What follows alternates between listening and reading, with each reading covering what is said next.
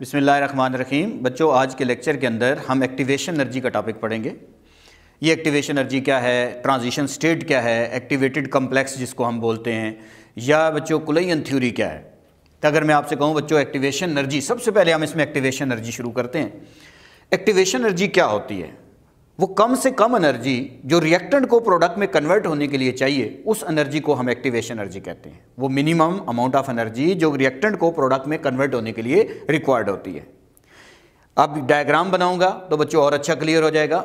और इसी तरीके से इसको डिनोट किससे करते हैं बच्चों? ई e ए से डिनोट करते हैं। और अगर किसी रिएक्शन की कोई ऐसा रिएक्शन है जिसमें रिएक्टेंट की एक्टिवेशन एनर्जी हाई होती है तो वो रिएक्शन मोस्टली स्लो होते हैं। और ऐसे रिएक्शन जिनकी एक्टिवेशन एनर्जी जो है, वो कम होती है, वो आपके पास मोस्टली रिएक्शन फास्ट होते हैं।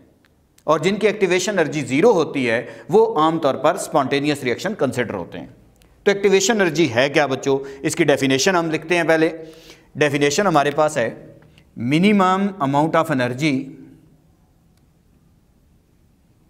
minimum amount of energy required to convert required to convert reactant into product reactant into product is called activation energy energy of activation भी बच्चों इसको कहा जाता है। Minimum amount of energy required to convert reactant into product is called activation energy it is denoted by E A बच्चों, अभी हम diagram बनाते हैं और डायग्राम के बाद हमें ये समझ आएगा कि ये रिएक्शन इसकी, ये इसकी कैसे वैल्यू निकालते हैं। तो बच्चों, हमारे पास आमतौर पर हम समझने के लिए सपोज़ करते हैं, हमारे पास एक रिएक्टेंट है ए टू और दूसरा रिएक्टेंट है हमारे पास B two B single bond B ये दोनों आपस में रिएक्ट कर रहे हैं. प्लस का साइन डालने का मतलब ये है दोनों आपस में रिएक्ट कर रहे हैं. ये रिएक्टेंट है. लाजमी बात है केमिकल रिएक्शन क्या होता है बच्चों? Breaking of old bond and formation of new bond तो हमारे पास ये जो बॉन्ड है, इनके दरमियान ये ब्रेक होना शुरू हो जाएँगे. ये डॉटेड लाइन बता रही है कि इनके दरमियान ये बॉन्ड ब्रेक हो रहा है. ए ए के दरमियान बॉन्ड ब्रेक हो रहा है. और बी बी के दरमियान भी बॉन्ड जो है, वो भी ब्रेक हो रहा है. डॉटेड लाइन से हम शो कर रहे हैं. ये भी बॉन्ड इनके दरमियान ब्रेक हो रहा है। और नया बॉन्ड फॉर्म हो रहा है ए बी के दरमियान और इधर भी ए बी के दरमियान। तो ये हमारे पास जो चीज़ है, इसको कहते हैं रिएक्टेंट इसको हम बोलेंगे रिएक्टेंट और इसको बोलेंगे एक्टिवेटेड कॉम्प्लेक्स एक्टिवेटेड कॉम्प्लेक्स जिसको मैंने ट्रांजिशन स्टेट भी लिखा है बच्चों। इसी को ट्रांजिशन स्टेट भी लोग बोलते रहते हैं, इसी को टेम्परेरी मालिक्यूल भी बोलते रहते हैं। और थोड़ी देर के बाद ये हमारे पास किसमें कन्वर्ट हो जाएगा? एक प्रोडक्ट में चला जाएगा और प्रोडक्ट ए बी बन जाएगा प्लस दूसरा mole B two mole of A B आपके पास बन जाएँगे। और ये जो बन, चीज़ बनी है, इसको हम क्या बोलते हैं? प्रोडक्ट जब भी कोई रिएक्शन होता है बच्चों तो पुराने बॉन्ड ब्रेक होते हैं, नए बॉन्ड फॉर्म होते हैं और बॉन्ड ब्रेकिंग बॉन्ड फॉर्मेशन हमारे पास साथ साथ चल रही थी। उनको डॉटेड लाइन से हमने डिनोट किया और फाइनल प्रोडक्ट हमारे पास बन गई। तो कम से कम एनर्जी जो रिएक्टेंट को प्रोडक्ट में कन्वर्ट होने के लिए रिक्वायर्ड है, उसे एक्टिवेशन एनर्जी कहते हैं।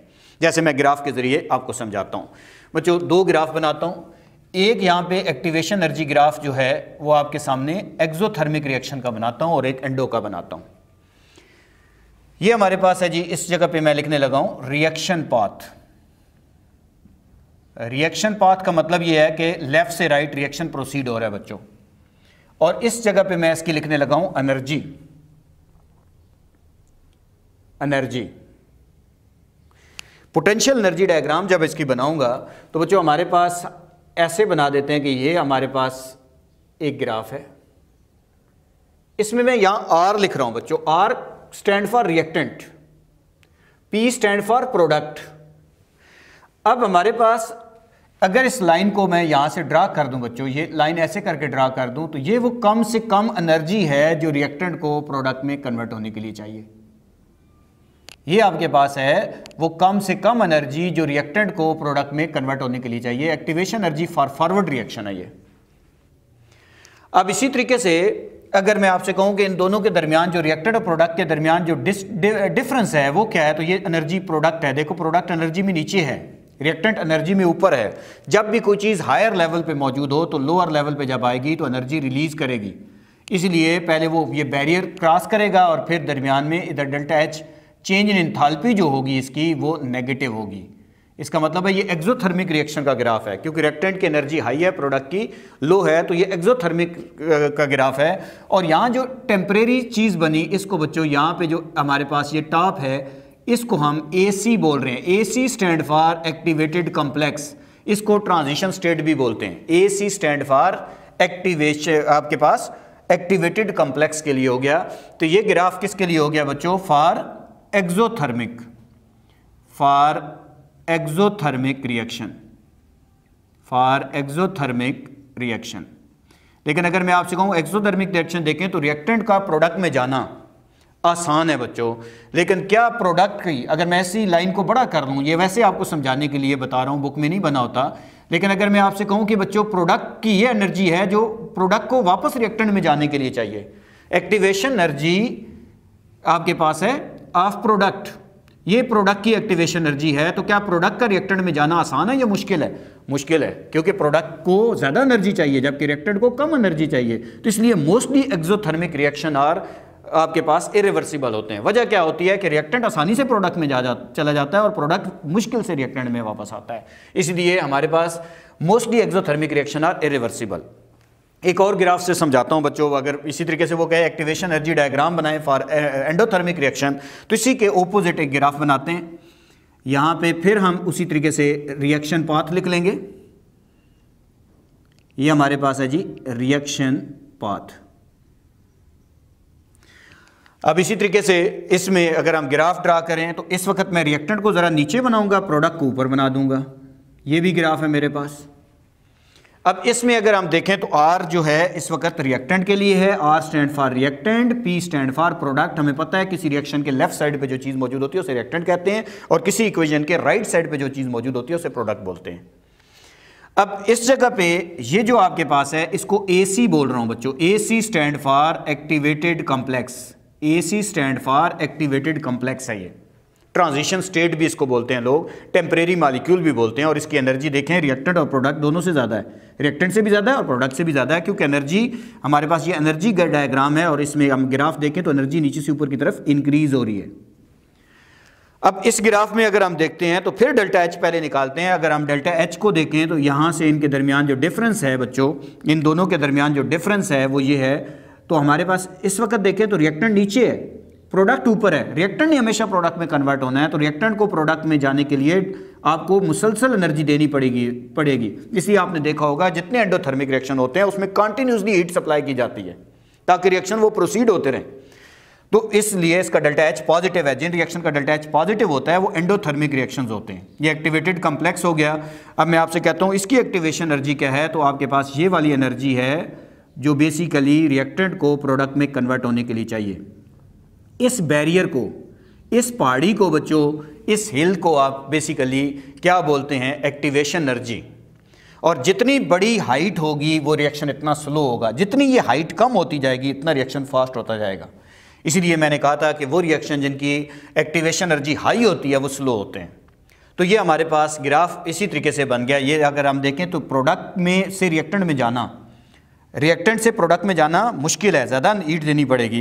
लेकिन अगर बच्चों, इसी ग्राफ को आप थोड़ा सा एक्सपेंड कर लें ऐसे करके तो आप देखेंगे कि प्रोडक्ट का रिएक्टेंट में आना, ये जो डिफरेंस है, ये भी एक्टिवेशन एनर्जी है। एक्टिवेटेड कम्प्लेक्स बनाने के लिए जो एनर्जी चाहिए, उसे भी एक्टिवेशन एनर्जी कहते हैं, और ये एक्टिवेशन एनर्जी फॉर प्रोडक्ट है। तो प्रोडक्ट की इस वक्त एक्टिवेशन एनर्जी जो है, वो कम नज़र आ रही है मुझे। जबकि रिएक्टेंट टू प्रोडक्ट ज़्यादा नज़र आ रही है तो इसलिए प्रोडक्ट का रिएक्टेंट में वापस आना आसान है। इसलिए mostly endothermic reaction are reversible तो ये हमारे पास है। फॉर एंडोथर्मिक रिएक्शन ग्राफ बनाया बच्चों। फॉर एंडोथर्मिक रिएक्शन ये एंडोथर्मिक रिएक्शन का ग्राफ है और इसमें mostly endothermic reaction are reversible because activation energy of product is lesser than activation energy of reactant जबकि मोस्टली एक्जोथर्मिक रिएक्शन इरिवर्सिबल होते हैं क्योंकि प्रोडक्ट का वापस रिएक्टेंट में आना मुश्किल होता है। ये हमारे पास इसकी अभी डेफिनेशन हो गई तो हमें डेफिनेशन समझ आ गई कि वो कम से कम एनर्जी जो रिएक्टेंट को प्रोडक्ट में कन्वर्ट होने के लिए चाहिए, उसे एक्टिवेशन एनर्जी कहते हैं। तो बच्चों, एक और डेफिनेशन भी तो मैं कर सकता हूँ। ये भी डेफिनेशन हो सकती है। Amount of energy required to form activated complex is called activation energy amount of energy required to form activated complex is called activation energy क्योंकि जो रिएक्टेंट एक्टिवेटेड कॉम्प्लेक्स बना लेगा, वो प्रोडक्ट में कन्वर्ट हो जाएगा। तो वो कम से कम एनर्जी जो रिएक्टेंट को एक्टिवेटेड कॉम्प्लेक्स बनाने के लिए चाहिए, उसे हम बेसिकली एक्टिवेशन एनर्जी कह सकते हैं। तो बच्चों एक्टिवेशन एनर्जी हमें समझ आ गया। अब हम इसमें पढ़ने लगे हैं ट्रांजिशन स्टेट ट्रांजिशन स्टेट क्या होती है? बच्चों ट्रांजिशन स्टेट को हम एक्टिवेटेड कम्प्लेक्स भी अभी कह रहे थे, इसलिए मैं इसको एक्टिवेटेड कम्प्लेक्स भी लिखने लगा हूँ कि पेपर में आ जाए एक्टिवेटेड कम्प्लेक्स को डिफाइन कर दें तो यही डेफिनेशन हो जाएगी। आपको पता है कि बच्चों एक्टिवेटेड कम्प्लेक्स टेम्परेरी मालिक्यूल भी इसको कहते हैं। इसको इंटरमीडिएट ऑफ़ द रिएक्शन भी बोला जाता है। वो एक्टिवेटेड कम्प्लेक्स ये वाला है हमारे पास, जैसे इसमें ये एक्टिवेटेड कम्प्लेक्स है हाइट ये एक्टिवेटेड कम्प्लेक्स है। आपको पता है ये अनस्टेबल रिएक्टेंट होता है अनस्टेबल सब्सटेंस होती है। ऐसी अनस्टेबल चीज़ जिसकी एनर्जी रिएक्टेंट और प्रोडक्ट दोनों से ज़्यादा हो, ऐसी अनस्टेबल चीज़ जिसकी एनर्जी रिएक्टेंट और प्रोडक्ट दोनों से ज़्यादा हो, उस टेम्परेरी मालिक्यूल को हम नाम देते हैं एक्टिवेटेड कम्प्लेक्स या उस स्टेट को हम नाम देते हैं ट्रांजिशन स्टेट ठीक है? तो बच्चों, मैं इसकी डेफिनेशन लिखने लगा unstable substance unstable substance which has high energy high energy as compared to reactant and product reactant and product is called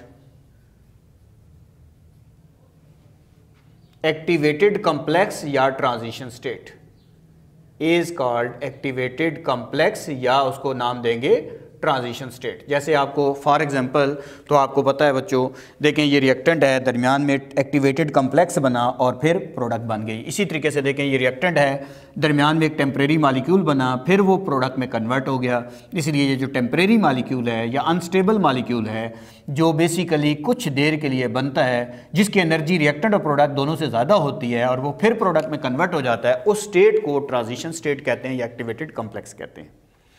अब हम आते हैं कुलयन थ्योरी, क्या कहती है बच्चों? Collision theory. Collision theory. बच्चों, आपको पता होगा कि मैं अगर आपसे कहूँ केमिकल रिएक्शन को डिफाइन कर दें तो आप कहेंगे breaking of old bond and formation of new bond is called chemical reaction breaking of old bond and formation of new bond is called chemical reaction लाजमी बात है बच्चों, जब केमिकल रिएक्शन होता है, पुराने बॉन्ड ब्रेक होते हैं, नए बॉन्ड फॉर्म होते हैं, लेकिन उनके मालिक्यूल जब रिएक्शन करते हैं तो उनके दरमियान कुलयन होती है। उन कुलयंस को बेसिकली एक्सप्लेन करने के लिए हम एक थ्योरी एक्सप्लेन करते हैं, जिसे हम कहते हैं कुलयन थ्योरी बच्चों, आप इसको समझाने के लिए कुलैन थ्योरी को समझाने के लिए मैं आपको बताता हूँ कि बच्चों, अगर रिएक्टेंट मालिक्यूल आपस में टकराते हैं, आप डायग्राम को ज़रा आपने ध्यान करना है बच्चों। अगर रिएक्टेंट मालिक्यूल आपस में टकराते हैं और टकराने के बाद इतनी एनर्जी प्रोड्यूस करते हैं कि वो एक्टिवेटेड कम्प्लेक्स बना सकें या इससे एनर्जी ज़्यादा प्रोड्यूस करें तो वो रिएक्टेंट से प्रोडक्ट में कन्वर्ट हो जाएँगे। Such collision is called effective collision लेकिन अगर रिएक्टेंट मालिक्यूल आपस में टकराते हैं और टकराने के बाद उनकी एनर्जी प्रोड्यूस तो होती है, लेकिन वो एक्टिवेटेड वो जंप तो लगाते हैं, लेकिन वो इस बैरियर को क्रॉस नहीं कर सकते, या वो टेम्परेरी ये मालिक्यूल नहीं बना सकते। वो आपस में टकरा रहे हैं, लेकिन ये इस बैरियर को क्रॉस नहीं कर पा रहे। उन कुलैंस को हम इन अफेक्टिव कुलैन कहते हैं। तो बच्चों, जब हमेशा प्रोडक्ट बनती है, वो अफेक्टिव कुलैन के नतीजे में बनती है। तो इसलिए अकॉर्डिंग टू कुलैन थ्योरी दो तरह की कुलैंस होती हैं अफेक्टिव एंड इनअफेक्टिव कुलैन ठीक है? तो अगर मैं आपसे कहूँ, इसमें अफेक्टिव और इनअफेक्टिव कुलैंस क्या हैं? तो हम लिखने लगे हैं बच्चों when reactant molecule when reactant molecule collide with each other collide with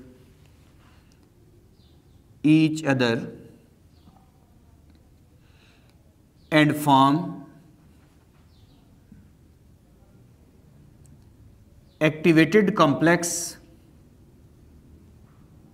and form activated complex such collision is called such collision is called affective collision उन कुलयन को हम अफेक्टिव कुलयन कहेंगे ठीक है बच्चों अब इसी में अगर मैं आपसे कहूँ कि when reactant molecule collide with each other they produce energy energy produce हो रही है, लेकिन बच्चों, वो they do not form activated complex अगर वो एक्टिवेटेड कम्प्लेक्स नहीं बना रहे is called ineffective collision because reactant is not converted into product क्योंकि अफेक्टिव कुलेन तो वही है, जो हमारा टारगेट है प्रोडक्ट है, वो बन सके। तो बच्चों इन अफेक्टिव कुलेन में इसी के अंदर अगर हम चेंज करना चाहें तो हम क्या कर सकते हैं कि when reactant molecule collide with each other and they do not form they do not form activated complex such collision is called ineffective collision अगर वो आपस में टकराते हैं और टकराने के बाद बेसिकली वो एक्टिवेटेड कम्प्लेक्स नहीं बना सकते और उन कुलयन को इनफेक्टिव कुलयन कहेंगे क्योंकि because reactant is not converted into product अब हम ये पूरा टॉपिक क्योंकि हमारा ये चैप्टर था केमिकल काइनेटिक्स और केमिकल काइनेटिक्स तो basically rate of reaction mechanism of the reaction and factor affecting on rate of reaction को स्टडी करता है. तो ये एक्टिवेशन एनर्जी क्यों इन्वॉल्व किया गया बच्चों? बच्चों, इसका एक्टिवेशन एनर्जी का रेट ऑफ़ रिएक्शन के साथ कोई रिलेशन है? जैसे मैं आपके सामने activation energy and rate of reaction ये हेडिंग लगाने लगा हूँ। Activation energy and rate of reaction activation energy and rate of reaction हमें पता है बच्चों कि अगर एक्टिवेशन एनर्जी ज़्यादा होगी अगर एक्टिवेशन एनर्जी ज़्यादा होगी रिएक्शन स्लो होगा। अगर एक्टिवेशन एनर्जी कम होगी रिएक्शन फास्ट होगा। अगर एक्टिवेशन एनर्जी ज़ीरो होगी रिएक्शन स्पॉन्टेनियस होगा। इसका मतलब ये हुआ कि बच्चों एक्टिवेशन एनर्जी का रेट ऑफ़ रिएक्शन के साथ क्या रिलेशन है? Inverse rate of reaction is inversely proportional to activation energy rate of reaction is inversely proportional to activation energy अगर एक्टिवेशन एनर्जी कम होगी रेट ऑफ़ रिएक्शन ज़्यादा होगा। ठीक है? तो आपसे अक्सर मल्टीपल चॉइस पूछे जाते हैं बच्चों। कहा जाता है reactant having high activation energy उनके रिएक्शन क्या होंगे बच्चों? स्लो होंगे। ठीक है? Molecule having low activation energy उन मालिक्यूल जिनकी एक्टिवेशन एनर्जी लो होती है या ऐसे रिएक्शन जिनकी एक्टिवेशन एनर्जी लो होती है, वो रिएक्शन क्या होते हैं बच्चों? फास्ट होते हैं। और वो मालिक्यूल वो रिएक्शन जिनकी एक्टिवेशन एनर्जी ज़ीरो होती है, वो रिएक्शन क्या होते हैं? स्पॉन्टेनियस होते हैं। तो उम्मीद है बच्चों, आपको चीज़ें तो अच्छी समझ आ रही होंगी। और ये टॉपिक मैंने कोशिश की है कि थ्रेटिकल था और आपको अच्छा समझाऊँ। तो आप इसको इन प्रैक्टिस करें। तो इन अच्छा तैयार हो जाएगा। Thank you